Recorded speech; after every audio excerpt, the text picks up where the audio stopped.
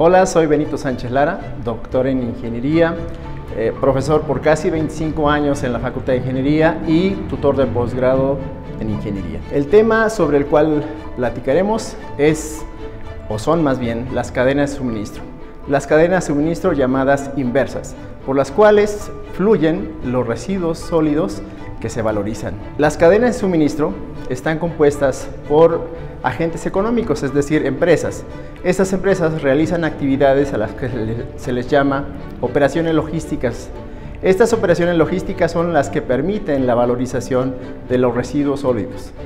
Mi trabajo durante algunos años ha sido relacionado con saber, entender y conocer cómo funcionan y qué hacen estas cadenas de suministro. En el marco de los 230 aniversario de la Facultad de Ingeniería y para difundir las contribuciones del posgrado, me honra en eh, hacerles la invitación a una plática que tendremos el próximo martes 29 de noviembre a las 5 de la tarde en el Auditorio Sotero Prieto.